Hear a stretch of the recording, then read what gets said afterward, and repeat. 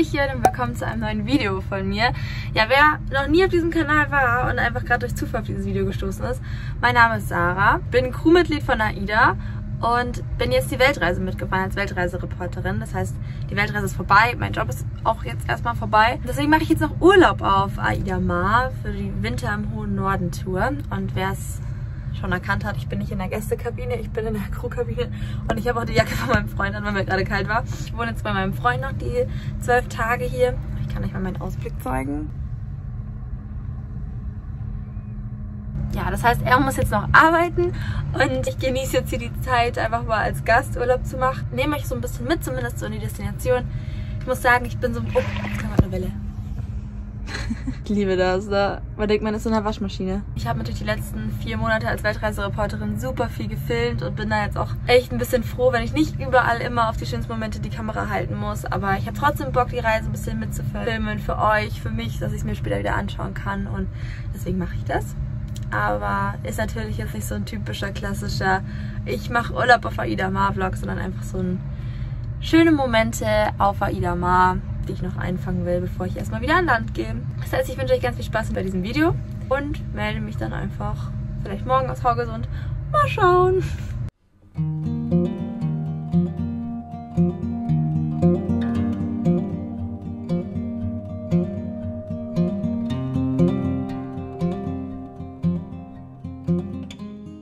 Wie geht's dir so am Morgen? Geil. Ich interview und ich vermisse es schon. Nein, hör auf. Wie geht's dir so? ich wollte eigentlich so ein Mikro halten und du gibst mir so Bro-Fist. Deine Haare sehen Du lustig die, aus. Kamera, die Kamera mich liebt. Aber nicht am frühen Morgen. Dann film ich dich beim Frühshoppen. Ha? Ich film dich beim Frühshoppen. Dann würde ich sagen, geh mal Bier holen.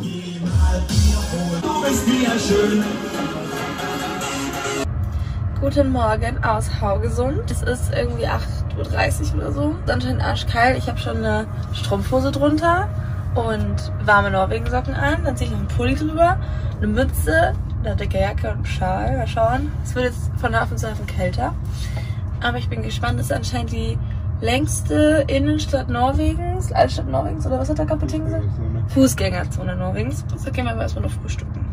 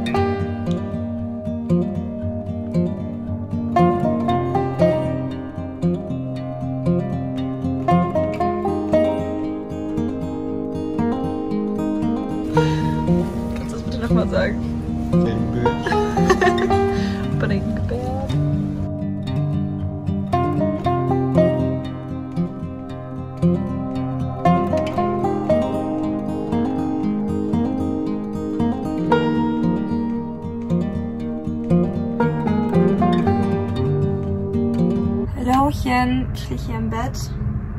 Ich bin immer noch so fasziniert von diesem Bullauge. Ich hatte nie ein Bullauge. Wir hatten gestern auf jeden Fall voll den schönen Tag in Haugesund, auch wenn es halt voll geregnet hat. Und wir haben uns nicht groß was angeschaut, weil ich jetzt auch schon so viel gesehen habe von Norwegen, so von Denkmälern und so. Und wir wollten einfach nur ein bisschen durch die Innenstadt flanieren und das war auch echt schön. Und dann waren wir eben in diesem Café, haben da auch was gegessen später und haben uns einen Urlaub gebucht. Ich denke, wenn ihr diesen Vlog hier seht, dann ist wahrscheinlich der Vlog vom Urlaub schon längst gepostet. Es geht auf jeden Fall auf die Malediven, ich freue mich übel. Naja, dann sind wir noch zurück, haben wir noch ein bisschen rumgegammelt und sind dann Abendessen im Brauhaus. Ich hatte auch das Dirndl an, weil gestern ein Alpenglühen war.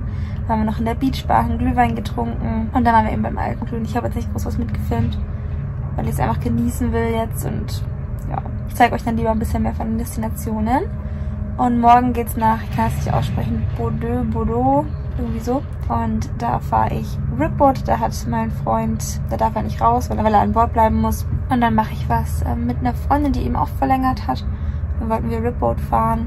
Ja, und jetzt gerade sitze ich hier, schaue mir nochmal die Videos an, die ich vorproduziert habe, ob ich die wirklich so posten kann. Weil ich finde, meine Kameraführung war echt schlecht. Ich habe die echt krass verbessert als Weltreisereporterin. Naja, aber ich werde sie trotzdem so posten. Und Ja, jetzt liege ich ein bisschen rum beim echt starken Seegang. Aber ich genieße es vorher einfach nur rumzuliegen.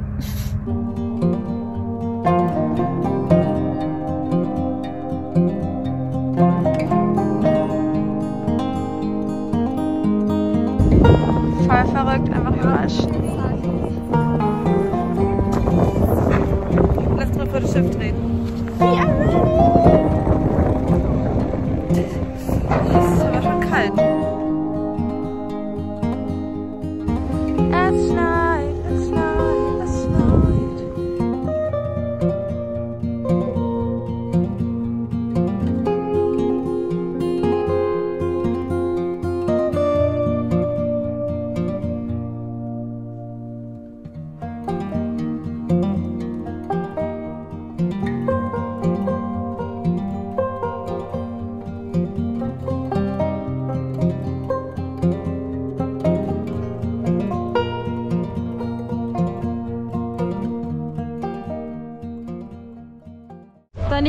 Dir dein Outfit? So gefällt mir mein Outfit. Mama! Spitze. Wuhu. Das ist so süß hier. Schneetauchen von oben. Ja, volles Programm.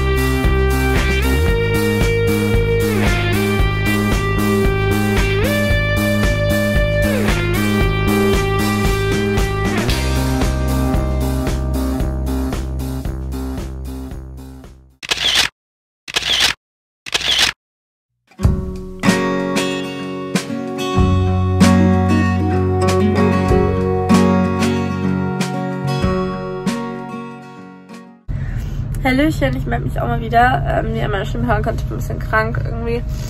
Der Ausflug gestern war richtig cool, aber mir war so, so, so, so kalt. Danach erstmal richtig warm geduscht.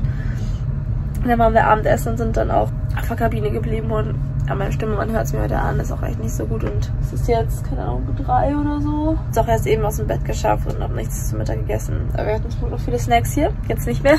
Aber es ist so, so schön draußen, wirklich, oh mein Gott. Mega schön. Ja, ich werde jetzt noch ein bisschen Video schneiden und dann denke ich halt später Abendessen gehen. Patrick ist auch angeschlagen, also sind beide ein bisschen angeschlagen. Aber naja, morgen gehen wir auf Rentierschlitten Tour. Ich hoffe, dass es uns bis dahin wieder ein bisschen besser geht. Und heute kommen wir heute Abend in Alter an, aber Patrick kann eh nicht raus, von dem her bleibe ich auch hier. So, wir gehen jetzt auf die Suche nach Polarlichtern. Auf dem Pooldeck. Mit dem Glühwein.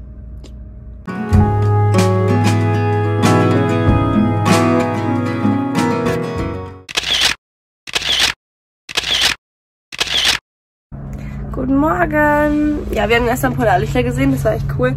Auch wenn man die halt wirklich immer nur ganz, ganz, ganz leicht sieht und eigentlich immer nur durch die Kamera wirklich sieht. Aber es war echt schön und ich hoffe, dass wir nochmal welche sehen, weil die werden halt jetzt nur so grün und so oben und ich fände es schon cool, wenn die sich mal so drehen. Aber ich bin schon froh, dass wir überhaupt welche gesehen haben. Ja, meine Stimme vielleicht klingt schon ein bisschen besser, ich werde langsam ein bisschen gesund. Und heute gehen wir auf Rentierschlittenfahrt. Ich freue mich übel.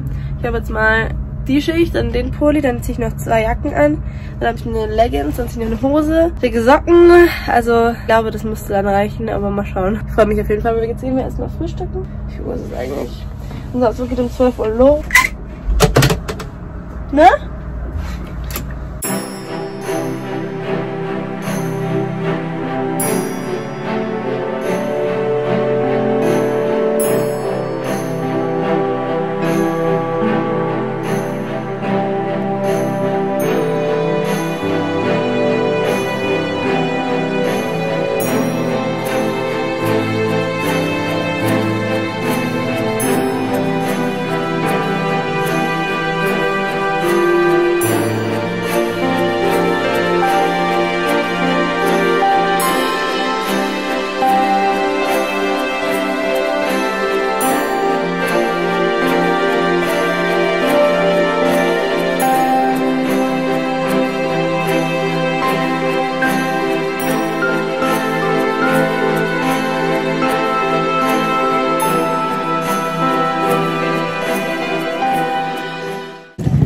Ein bisschen kalt, aber eigentlich ganz schön. ne, Bro? Der guckt uns immer so an.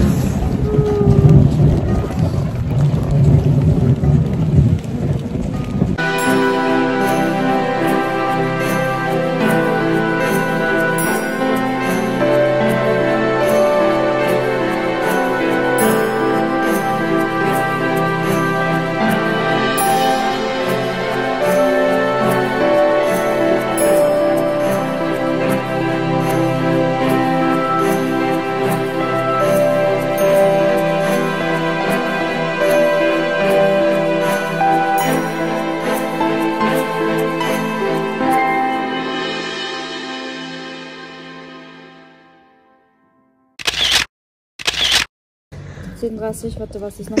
das sieht aus wie so richtige Touris vom Hintergrund mit dem Visitor Center. Süß. Ja, Philipp. Every little thing adds up.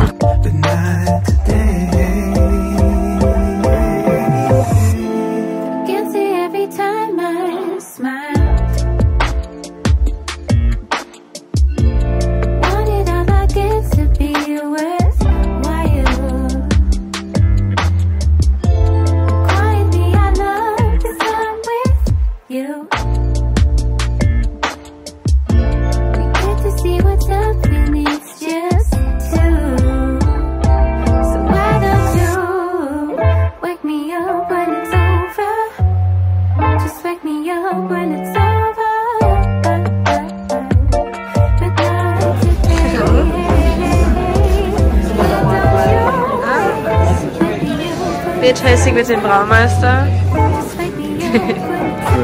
Soll das mit dem am Schluss beginnen? Am Schluss hat der Braumeister mir das gelernt. Ja, ich will es aber Eigentlich zum Schluss, weil das was Sounding ganz gut macht. Habe ich ihm gerade gesagt. Du musst vom beauty misconstrued for madness. Can't tell how full the glass is. There's no harm in needing glasses. Breathe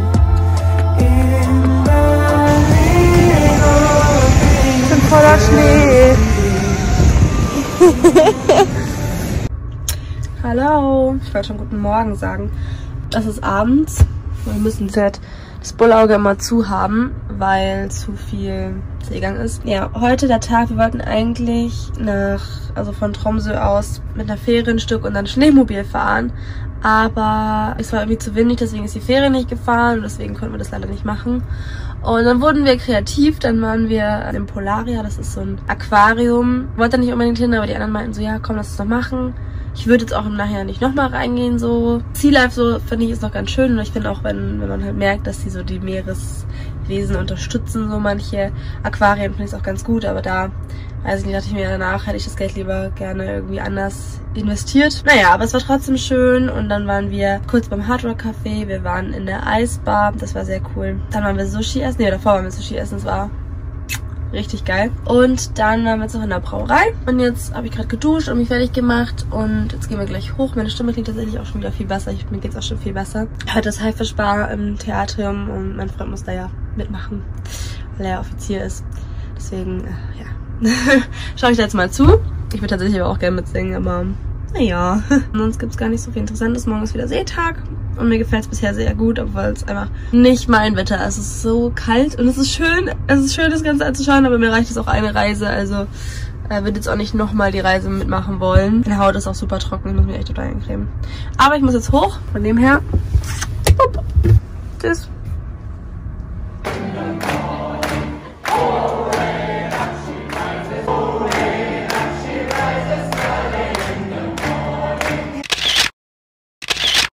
Morgen, beziehungsweise eher gesagt guten Nachmittag.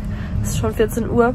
Wir haben lange ausgeschlafen. Gestern Abend war voll der lustige Abend mit Haifischbar. Wir haben Nordlichter so gut gesehen. Wirklich, das war echt schön. Also man sieht sie in echt, echt nicht so gut wie durch die Kamera, aber es war trotzdem so schön, weil man sie wirklich so ein bisschen tanzen hat sehen und das war echt toll. So, jetzt habe ich die Karten noch alle fertig geschrieben. Ein paar brauche ich noch die Adressen und dann gehe ich jetzt gleich mal hoch zum Brauseminar. Ich habe echt überlegt, ob ich hingehe, weil wir echt dolle Seegang haben und ich eigentlich lieber im Bett liegen würde, aber wenn man mit dem Braumeister zusammen ist, dann muss man wohl das in Kauf nehmen. Von dem her melde ich mich später nochmal. Tschüss.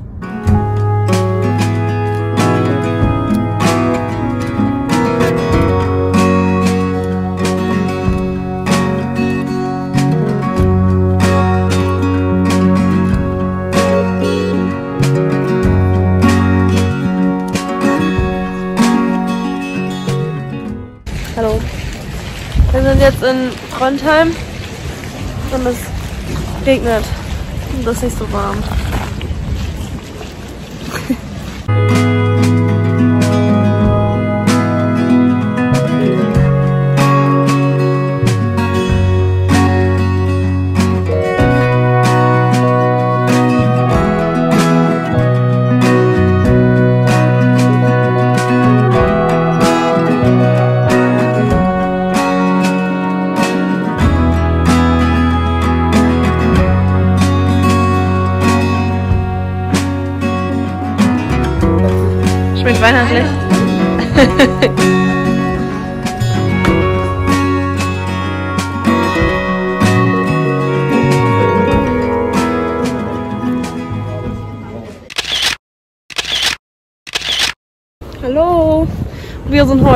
Ahlesund und gestern waren wir in Trondheim, da habe ich gar nichts mehr gefilmt. Wir waren eigentlich nur spazieren, es hat die ganze Zeit geregnet. Wir waren ein bisschen bummeln, wir waren Kaffee trinken, Zimtschnecke essen und ja, wir waren auch schon mittags um jetzt auf dem Schiff.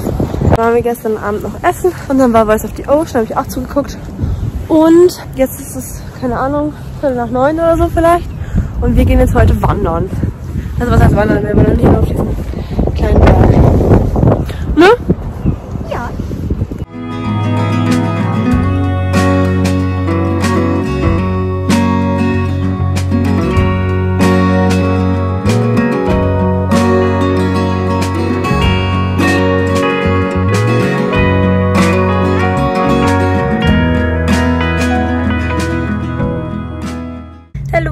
habe mich ja eben kurz gemeldet. Wir waren jetzt eigentlich nur noch einen Kaffee trinken. Ich habe noch so ein Sandwich gegessen. Und jetzt sind wir schon wieder zurück an Bord.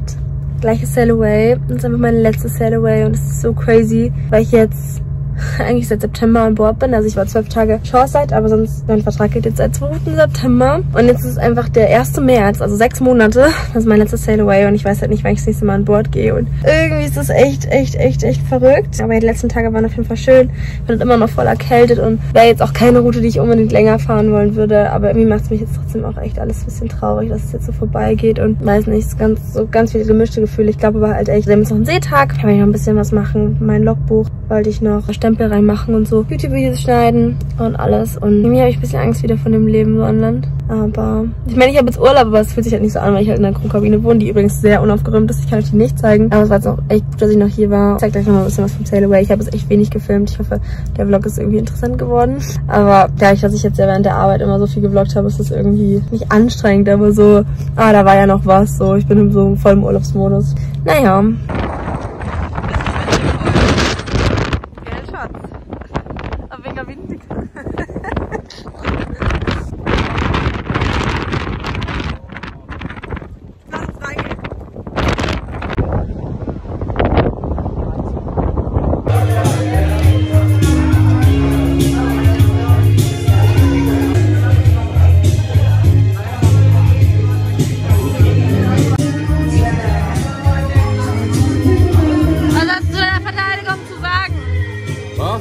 Was hast du der Verteidigung zu sagen?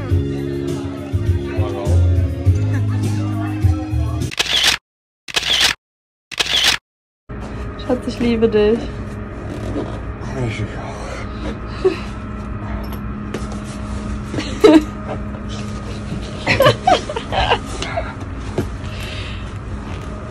ah, warte, das muss auch noch rein. Spaß. ja.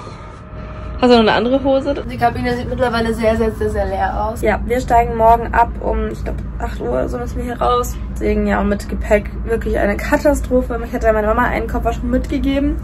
Aber irgendwie hätte ich hier vielleicht noch mehr Zeug mitgeben sollen, weil mein Koffer sieht einfach aus wie so ein Marshmallow. So die eine Sache wäre jetzt, wenn ich wüsste, ich fahre direkt nach Hause, aber wir bleiben noch eine Nacht in Hamburg. Zwar nicht in Rostock, weil ich nochmal zu einem Meeting muss. Dann fahre ich noch nach Nürnberg zu meinen Großeltern und erst dann nach Hause. Also ich werde jetzt auch eine Woche aus dem Koffer leben.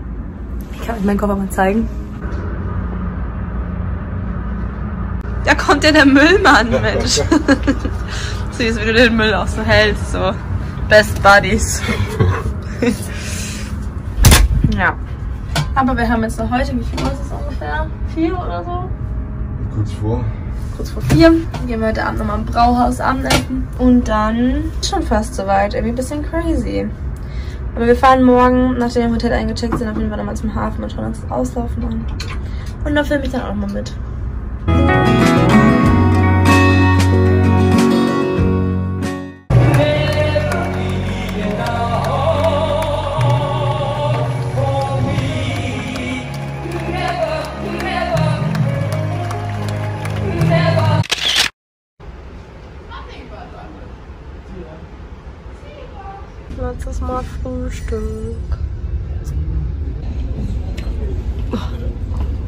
Sollte Von oben runter, das schaut aus.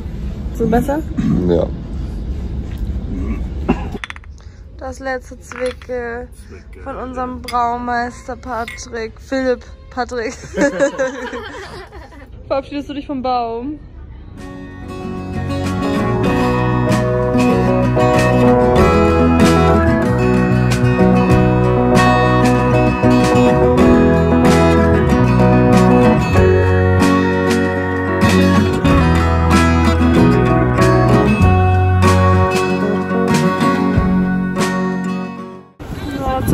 Wir hier zum Auslaufen.